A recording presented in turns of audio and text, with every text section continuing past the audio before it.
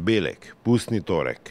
Kljub temu, da imajo vijoličasti igralci ogromno obveznosti, nekateri izmed njih niso pozabili na ljudsko izročilo. Eden izmed njih je Jean-Philippe Mendy, ki prihaja iz mesta Versailles, Franciji, kjer to tradicijo še posebej negujejo.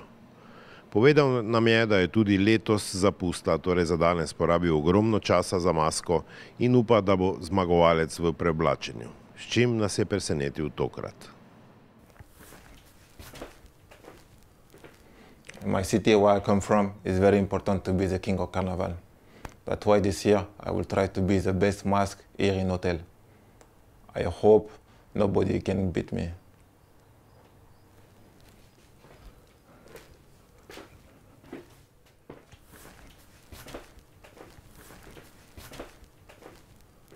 I hope Maribor supporters like my mask.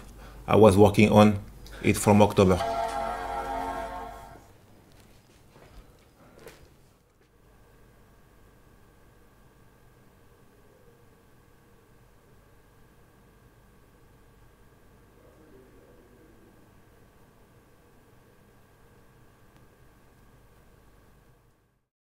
Фантие су ми со овим пустом направили додатне проблеме кога ставите у момчат.